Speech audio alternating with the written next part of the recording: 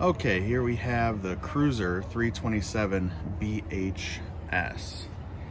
We're gonna go walk around the outside, go through the inside, go over some of the features. There's an overview.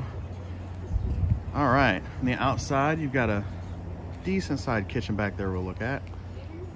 Awning, 20 foot awning over both entrances.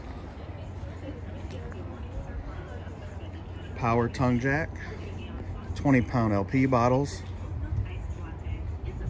One thing interesting on the Cruiser RVs is they've taken advantage of some of the empty space in the front with a nice pull out storage area that sits right back in and closes. I'd say it's about a 36 inch by 24 inch pass-through storage. Slam latch. Doors. Kind of thinner on the doors. They're a little lightweight. I'd like to see it a little heavier, but pretty good definitely at this price point. They have a show price listed $34,999. It's got standard windows, which is not necessarily bad. They open up a little more. Trailer King RST tires. You have a standard equalizer. 225 75 R15. Looks like they are D rated. Let's go check the numbers. They're D-rated tires. That would be a little disappointing. Nice front cap. Standard, seam, not a full wraparound front cap. And they are D-rated tires. Gross vehicle weight rating, 9,900 pounds. That is definitely disappointing having D-rated tires on this trailer. Even at this price point, I would expect E-rated tires.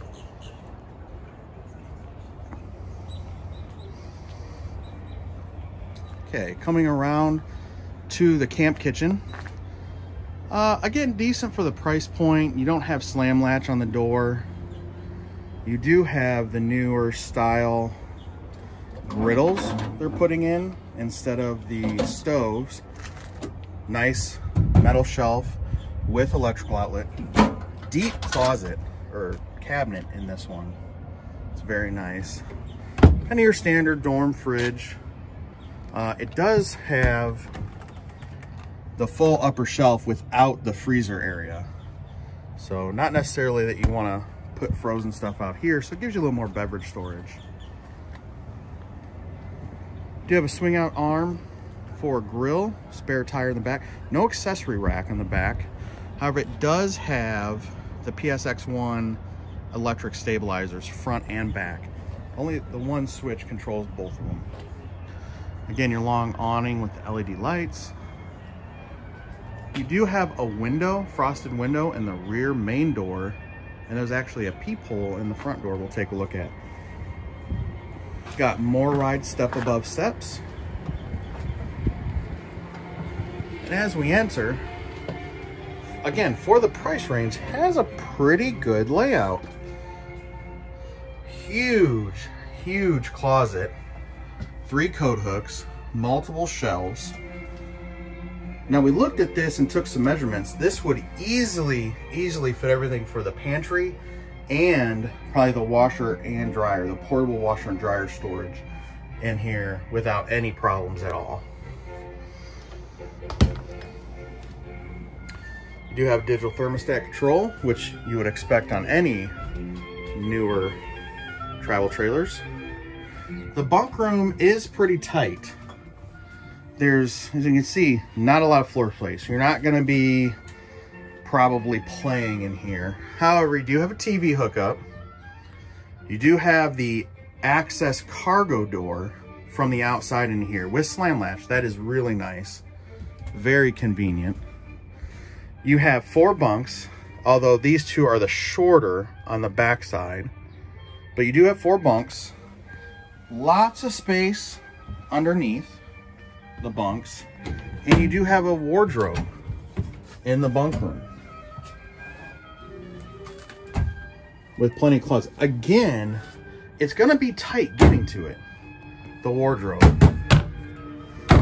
But that is because across from the wardrobe, you do have the half bath, and this is a very big half bath. You do have a linen closet, medicine cabinet, wraparound countertop for the sink, under storage, and it is a plastic toilet. Again, in this price range, not surprising to find a plastic toilet. Coming out into the living area, you have overhead storage above the couch. This is a trifold couch. Uh, talk to the dealer rep. You can, it's not a standard option for theater seats in here, uh, but you can get them to put it in. It does sit directly across your entertainment center, which again, especially in bunkhouses, some of the models really miss out on. So you've got some decent storage, no overhead storage, but you do have space for a larger TV if you want. One thing to note, I did just hit my head on the slide trim. So if you're sitting there, I'm six foot, and you stand up, uh, it is a short slide. Decent size booth dinette with storage below. Uh, no pull out. Some, some of the manufacturers are starting to put pull out bins or slide outs in there. But again, in this price point, I mean, it's easy to go to Walmart and get your own bin. Coming around to the kitchen. I love this because I've seen some trailers without the 12 volt fridge. And I am a huge fan of the 12 volt fridge for a couple of reasons. One, as you can see, is all the space. You don't have the condenser in there for the propane. Uh, you got a lot more space. Plus, it being 12 volt, it's safe to run while you're traveling. Uh, and a lot of the trailers either coming with at least one solar panel or with solar panel prep. Make sure your battery is always topped off. Uh, and it's just a fantastic option. It cools a lot quicker. It does have a 16 inch oven with a three burner stovetop. Pretty standard is Furrion. It has the smaller Greystone microwave, which is similar to what we have on a Spirit Ultralight. Uh, still good enough size for using a microwave when you're camping. Decent amount of under cabinet space. Does have the farm, stainless steel farm sink with the solid cutting board. It's nice to have a cutting board. However, we have kids. And if the water gets turned on, I mean, water's gonna hit that. There's a little bit of a drain hole there, but water's gonna go everywhere. I like the rib vent style. Some, uh, not a lot, but probably enough if you're just part-timing storage for dishes. You do have a couple of drawers. This unit is definitely lacking on the drawer space. Couple of drawers. You can put some utensils. But again, you have the huge pantry that's up there. You have a walk-through bathroom with a linen closet, medicine cabinet. You do have the little wraparound counter shelf here, which is which is nice. Uh, nice use of space instead of just having that empty. Uh, not much room. You could probably get a small trash can down there or even in one of the little cubbies, but it's not going to be very big. And again, plastic sinks, plastic toilets, which at this price point is not surprising. I'm not mad about that. Plastic toilet. Decent uh, cubby space and spot for the towel hooks. Not a bad as a first initial look, not a bad shower. However, I'm gonna hand the camera off. We're gonna see I'm six foot. And I'm gonna step in. It is a large step up into it. And it's not terrible. You have plenty of elbow space either way. It has the newer style door with the squeegee.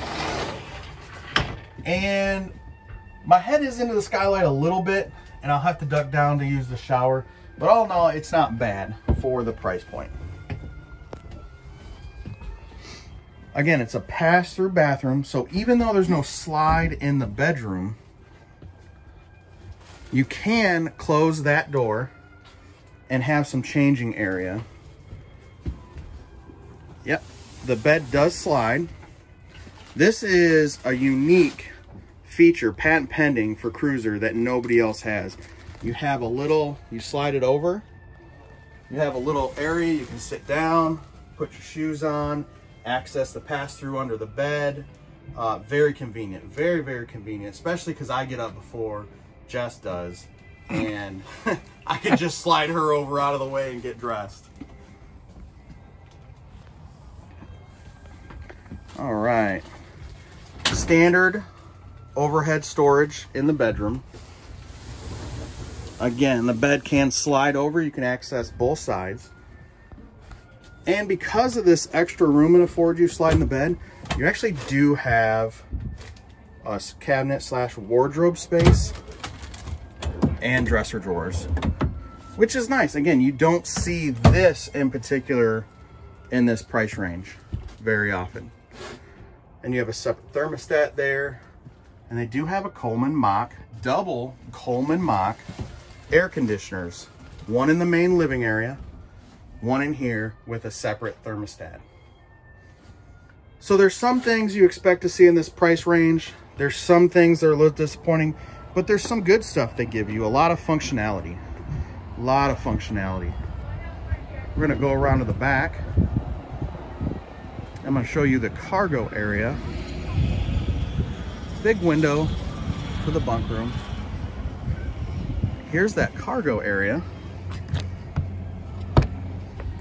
And you can see you've got a large opening to load stuff up on for travel days into the bunk room.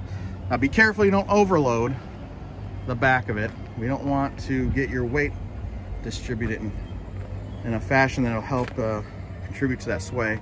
Here's your water work connections. You got your 50 amp service, your water connection, satellite cable. Very convenient placement on the waste tank drains.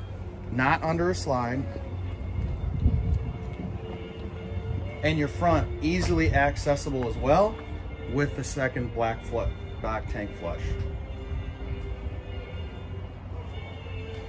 And solar prep, that's kind of a gimmicky on this, but you can see the Coleman Mach air conditioner on top.